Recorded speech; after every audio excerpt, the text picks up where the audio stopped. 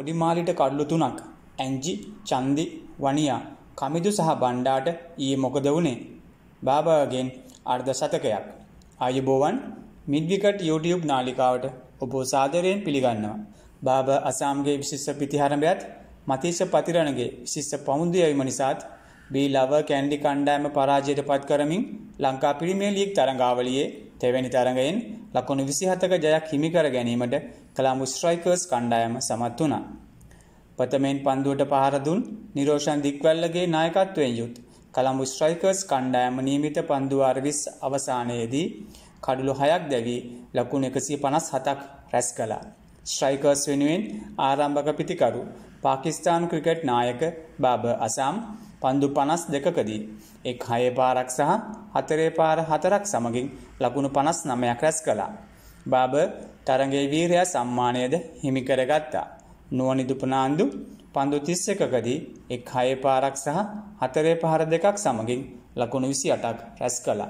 බී ලව වෙනුවෙන් ඉසුරු උදාන සිය පන්දුවාර හතරේදී ලකුණු තිස්නාමයකට කඩලු තුනක් සහ මොහොමඩ් හස්නයින් පන්දුවාර හතරේදී ලකුණු විසි හතකට කඩලු දෙකක් දවාගත්තා. බිල්ලව නායක වනිදු හසරංගට මෙම තරඟයේදී කිසිදු කඩුල්ලක් දවාගන්නට හැකියාව ලැබුණේ නැහැ.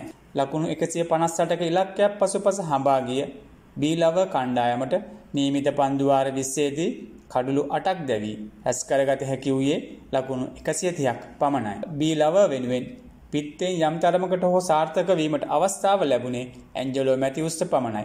කෙසේ වෙතත් මෙම තරගයේදී මැතිවුස් ශන්දිමාල් කමිදු අශයෙන් සහ වනිදුහ සරංග යන ක්‍රීඩකින් සියලු දෙනාම අසාර්ථක වුණා. ස්ට්‍රයිකර්ස් වෙනුවෙන් මතීශ පතිරණ පන්දුවාර් හතරකදී ලකුණු විසි හතරකට කඩ්ලු තුනක් දවාගත් අතර නශීම්සා පන්දුවාර් හතරේදී ලකුණු දහනමයකට කඩලු දෙකක් දවාගත්.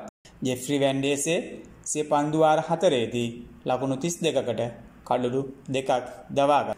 දම්බුල් අවුරා සහ ජැෆ්නකින් සතරත් ගෝල් ටයිටන් සහ බීලාව කැන්ඩි අතරත් තරඟ අද පැවැත්වීමට නියමි